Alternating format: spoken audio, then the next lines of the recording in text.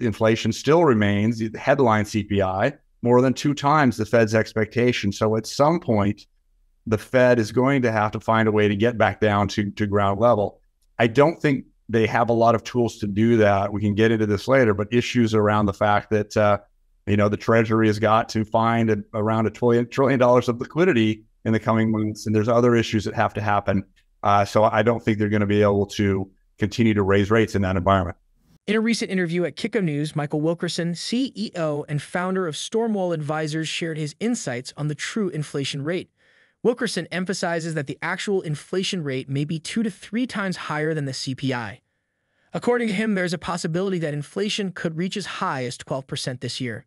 He further explains how investors can safeguard their assets from the effects of inflation. Additionally, he provides his predictions for the performance of gold in relation to the inflationary trends. According to Wilkerson's analysis, inflation in crucial categories such as food, electricity, higher education, and medical care is running two to three times higher than what the CPI data are indicating. According to PricewaterhouseCoopers, healthcare expenditures have witnessed an annual growth rate of 7.6% since 2006, in contrast to the official CPI data that indicate a 2.6% annual growth over the previous decade.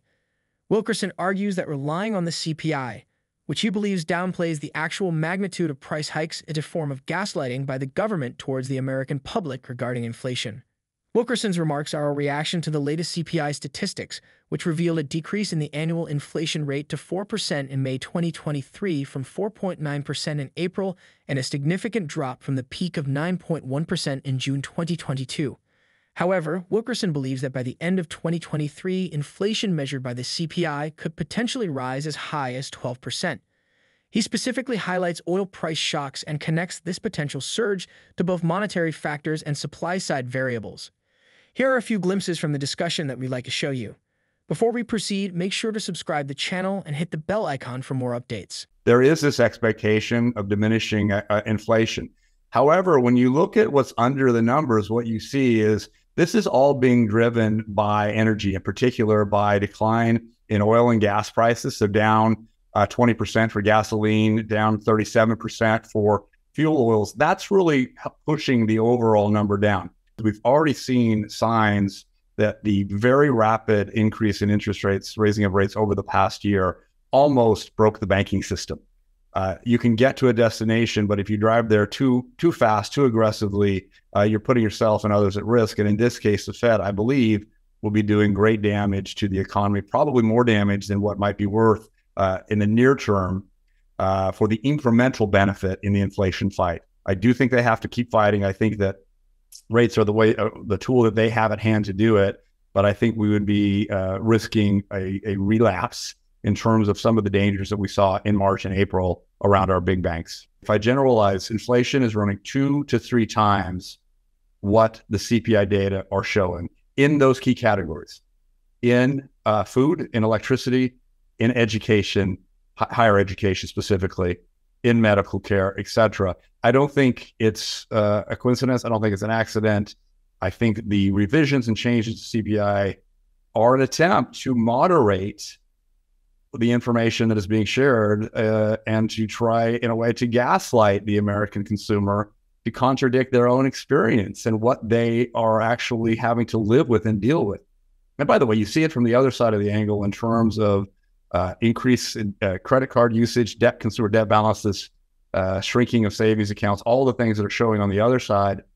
And I should also mention that even if you do stick with CPI and that related data, what you're seeing is that real weekly wages are going down. Uh, the consumers are not keeping up, even though nominal wages are up, let's say 6% uh, in the past few months uh, against what peak inflation of 9%. Nonetheless, that's not real. When you look at the real uh, income growth, uh, it's hovering around zero or negative.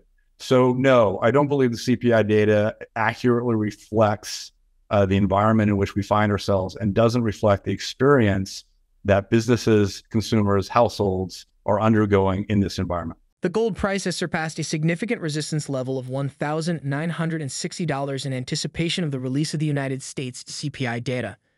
With investors eagerly awaiting the inflation numbers to gain insights into the Federal Reserve's interest rate policy, the precious metal is expected to exhibit volatile movements. According to Wilkerson, the current circumstances present a favorable outlook for gold due to the potential risks of inflation, an imminent recession, and potential bank failures. He asserts that the stars are aligning for the precious metal, indicating a strong long term performance. Based on his theory, the projected increase in energy costs and inflation rates expected to begin in the fall could drive gold prices to surpass $2,000 by the year's end. Uh, in the banking crisis, we saw both gold and when I say the banking crisis, I, I guess the March phase of it. I, I, don't necessarily believe that it's over, but during you know those panic moments, you saw safe haven buys in gold, you saw it in crypto, you saw it elsewhere. Um, it's eased off, and I think again it goes back to right now there are some interesting alternatives. Um, you know, the dollar is not showing the strength that I, if you look back at 2022, it feels like there's a very there was a strong correlation between a rising and strong dollar and a, a, as a constraint on, on the gold price in dollar in dollar terms. That isn't really there anymore. You've got all of these things that we've been talking about: the banking crisis, uh, inflation, and recession. So it, it does appear that the stars are aligning for gold. Now, the perennial frustration is okay, the stars have aligned before, and sometimes it doesn't happen. But from my perspective, and we talked about in the context of miners, I feel comfortable with gold, very comfortable with gold, very comfortable with the miners. And uh, I've stopped looking at my watch, in other words, to ask when. I'm just uh, sticking with the conviction over the long run and something that, uh, that I believe will perform. I think the summer is going to be somewhat boring. I think it's going to be somewhat boring as inflation. it's going to be somewhat boring. Uh, you know, we're not going to see a lot of news. I did paint a scenario where we could see uh, sort of chapter three of this season's episodes, episode three of this season's uh, banking crisis.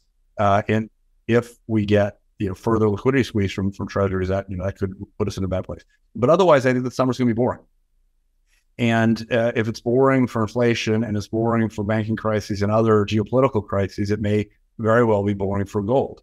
But if you stick with my uh, the hypothesis or the conjecture, maybe nothing more than that, that we're going to see or you know, see, see some movement in energy, see some movement in inflation beginning in the fall, then yes, I think there's a plausible scenario that we could see gold back above uh, the 2000 level by the end of the year. I don't see a massive, uh, you know, uh, 15, 20% breakout, but I can see a 10% breakout, uh, which of course would be wonderful and we'd all welcome it.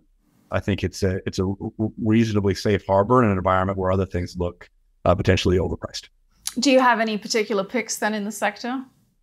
Well, and I can't remember what I said last time, but I continue to be a big fan of of Exxon, of, Phil, of Phillips, of uh, Chesapeake, others uh, in, in the sector, and as I mentioned before, uh, I still like the miners, and I know that sounds antiquated, but I look the gold miners, gold and silver miners, gold miners, and even you know the broader names like Rio Vale, but but certainly Newmont, others, just because um, I think that you're going to see again. You have very attractive dividends in the case of some of those names, double digit uh, yields at this point, and and I think for reasons that I know you and this program talk about a lot uh, gold is on the come. Now, is it always on the come? How long do we have to wait to see what's going to happen? I'm okay to wait. Uh, in the meantime, for the miners especially, uh, you get the dividend along the way.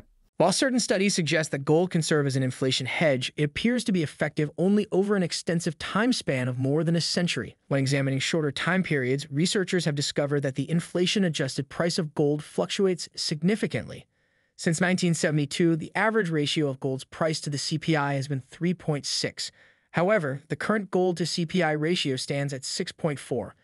This indicates that if gold were a straightforward and dependable hedge against inflation, its value would remain relatively stable in relation to the CPI. What is your opinion on Michael Wilkerson's perspective? Do you believe that the heavens are in harmony for the gold market? We encourage you to share your views in the comments section. If you found this content informative, please give it a big thumbs up and subscribe to our channel for the most up-to-date news and videos. We appreciate your input and look forward to hearing from you again soon.